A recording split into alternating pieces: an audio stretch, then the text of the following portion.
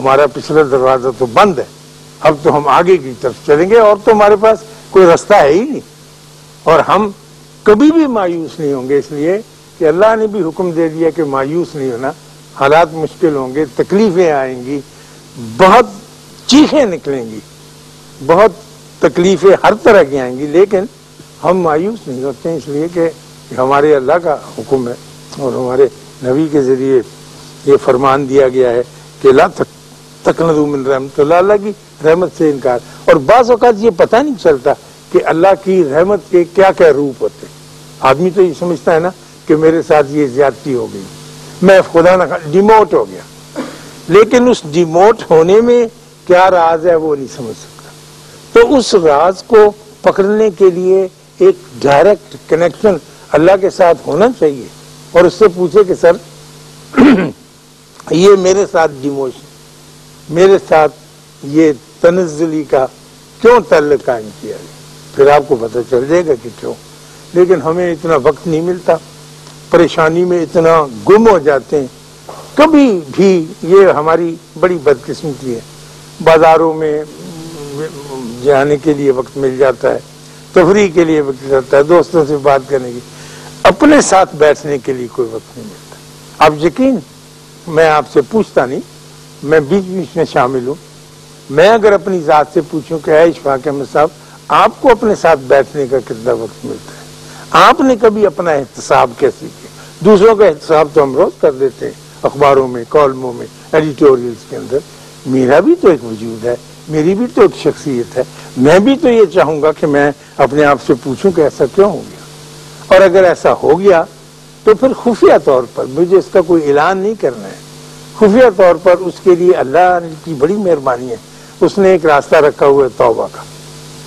کئی تو آدمی کہتے ہیں نا کہ نفل پڑھیں آپ، ورد وظیفہ کریں۔ وہ چلے گا نہیں۔ جب تک کہ آپ نے اس کیے ہوئے برے کام کے لیے توبہ نہیں کر لی۔ توبہ ضروری ہے۔ جیسے آپ کاغذ لے کے نہیں جاتے کہ ٹپا لگوا کے آ نیچے سے، پھر وہ آگے دستخط کر دے گا، پھر آپ کا کام چل جائے گا۔ تو توبہ وہ ٹھپا ہے جو لگ جاتا ہے اور بڑی آسانی سے لگ جاتا ہے۔ اگر آپ خفیہ بیٹھے ہوں، دروازہ بند کیا ہوا اور اللہ سے کہیں کہ اللہ میں یہ پتہ نہیں مجھے کیا ہو گیا تھا۔ تو یہ ہو گیا۔ اور میں اس پہ شرمندہ ہوں۔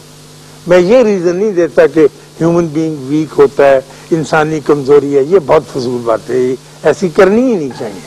کہ جی مجھ سے یہ کوتاہی ہوئی ہے اور میں اس کی معافی چاہتا ہوں آپ سے۔ اور میں کسی کو بتا نہیں سکتا اس لیے کہ میں کمزور انسان ہوں، کیوں بتاؤں؟ تو وہاں سے معافی مل جائے۔ پھر زندگی کا پھر راستہ ایک نیا، بڑا شاندار، بڑا کامیاب چل نکلتا ہے۔ لیکن اگر آپ اپنے ماضی کو ہی اٹھائے پھریں گے، اس کی فائلیں ہی لیے پھریں گے، اور یہی رونا روتے رہیں گے کہ میرے ابا جی نے کیا کیا، دوسری شادی کر لی تھی، فرض کیجیے انہوں نے، یا میرے ساتھ سختی کرتے رہے، یا انہوں نے بڑے بھائی کو زیادہ دے دیا، مجھ کو کچھ کم دے دیا، یا چھوٹے نے زیادہ لیے بڑا کم رہ گیا، یا شادی میں کوئی گڑبڑ پھر تو ختم نہیں ہوگا کبھی بھی کام۔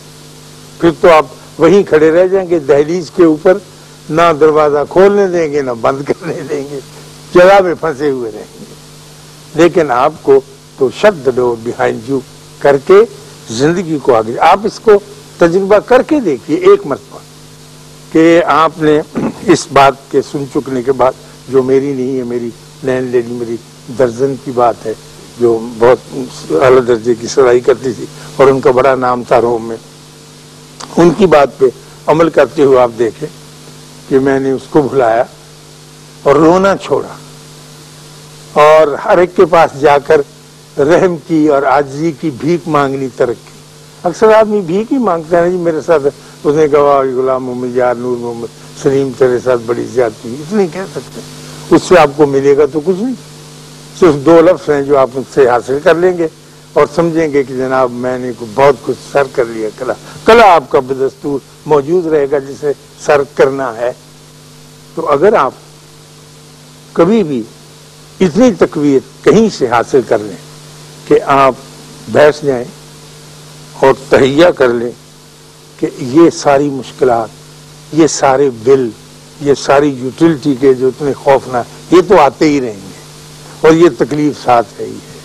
اور بچے بھی بیمار ہوں گے، بیوی بھی بیمار ہوگی، خامد کی بھی تکلیف ہوگی، جسمانی عارضے بھی آئیں گے، اور روحانی بھی اور نفسیاتی بھی۔ ان سب کے ہوتے ہوئے میں اتنا سا وقت نکال کے، جو مقصد کہا کرتا ہوں کہ مغرب کا وقت بڑا بہتر ہوتا ہے، یوں تو سارا ہی وقت اللہ کے ہے لیکن اس وقت ذرا آدمی آسانی کے ساتھ دو وقت ملتے ہیں نا، تو ذرا بہت آسانیاں ہو جاتی۔ اس وقت بیٹھ کے ضرور اپنی ذات کے ساتھ کچھ گفتگو، اور جب وہ گفتگو ہو چکے تو خفیہ طور پر دروازہ اندر سے چٹکنی لگی ہوئی آپ۔ پھر وہی گفتگو اپنے اللہ سے، کسی بھی زبان میں۔ آپ حیران ہوں گے، اللہ ساری زبانیں سمجھتا ہے۔ انگریزی میں بات کریں، اللہ بہت اچھی طرح سے انگریزی جانتا ہے، اردو، پنجابی، سندھی، کسی میں بھی بات کر لیں آپ سے بات کریں، اور آپ کا اس کے ساتھ رابطہ یقیناً کام اور تقویت آدمی پکڑتا چلے بجائے اس کے کہ آپ مجھ سے آگے پوچھیں اشفاق صاحب ہمیں کو بابا بتائیں۔ ہم جا کے اس کرتے ہیں دعائیں بابے کا کہ میرا کام کر کے دو۔ ایسے نہیں ہے۔ آپ خود بابا ہیں۔ میں بار بار آپ کو یقین دلاتا ہوں، آپ نے اپنی طاقت کو جانا ہی نہیں، پہچانا ہی نہیں۔ وہ ہمارے جوگی کہا کرتے ہیں کہ ہاتھی کی طاقت جو ہے، وہ سارے جانوروں سے زیادہ ہے، لیکن چونکہ اس کی آنکھیں چھوٹی ہوتی ہیں، اس نے اپنے وجود کو پہچانا ہی نہیں۔ ہاتھی جانتا ہی نہیں میں کتنا بڑا چھوٹی چھوٹی آنکھیں ہوتی ہیں۔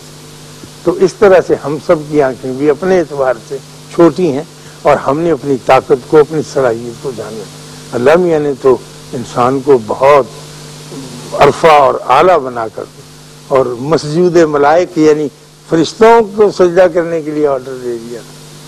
پھر یہ بات تو یاد رکھنے کی ہے کہ اب جتنی بھی مخلوق نے انسان کو سجدہ کیا تھا وہ اب تک انسان کے ساتھ ویسا ہی نباہ کر رہی ہے۔ یعنی شجر، حجر، نباتات، جمادات، فرشتے، وہ انسان کا احترام کر رہے انسان سے احترام نہیں ہو پا رہا۔ آپ کو پتا ہے کہ یہ جو درختوں نے انسان کو سجدہ کیا، پتھروں نے کیا بہتی ہوئی ندیوں نے کیا، اس وقت میں بار بار کہا کرتا ہوں کہ اب جب ہم یہاں بیٹھے ہیں تو اس وقت کروڑوں ٹن برف جو ہے ہمارے پہاڑ کیٹو کے اوپر پڑی ہوئی۔ وہ اس وقت آواز پکار کے سورج کی منتیں کر رہی ہے کہ ذرا ادھر کرنے زیادہ ڈالنا، پانی ہے نہیں جناب میں، بالکل سوکھ گیا۔ تو میں نے پانی پہنچانا ہے اور نو انسان کو پینے کے لیے پانی چاہیے۔ اپنا آپ پگلاتی ہے برف، تڑپتی ہوئی آتی ہے اور آپ کو پانی دے کے جاتی سوئی گیس جو بالکل ڈیڈ چیز ہے، زمین کے اندر موجود ہے۔ صبح کے وقت سوئی گیس اگر آپ غور سے اس کی آواز سنیں اور آپ یہاں تک پہنچ جائیں کہ آپ کو یہ آوازیں آنے لگے تو چیخے مار مار کر کہہ رہی ہوتی ہے، نیچے والی سوئی گیس سے۔ نہیں کڑیو، چھتی کرو، گیس کو کہتی باہر نکلو۔ جلدی کرو، تم تو ابھی ہار سنگار کر رہی ہو۔ بچوں نے اسکول جانا ہے، ناشتہ دینا ہے، لوگوں نے دفتر جانا ہے۔ چلو اپنا آپ قربان کرو ناشتہ۔ تو وہ کہتی ہے، ماسی ہم نکل تو رہی ہیں، اب دو منٹ۔ انہوں نے کہا، نہیں نہیں، جلدی نکلو، جلدی۔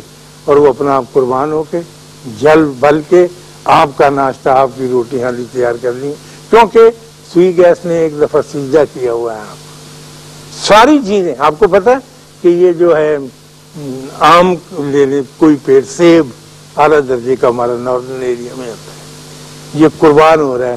آج تک کسی انور رٹول نے یا کسی سمر بہشت درخت نے اپنا آم چوب کے نہیں دیکھا۔ خود بھی تو کھا سکتے دیکھو نا، ہم جیسے انسان اب خود کرتے ہیں، اپنا لگو کے رکھتے ہیں، ہر چیز چھپا کے رکھتے ہیں۔ وہ درخت یہی پکار پکار کہتا ہے کہ جی ادھر سے میرا پھال اتارو جی یہ بلوچستان ضرور بھیجنا، وہ لوگوں کو آم کم ملتا ہے۔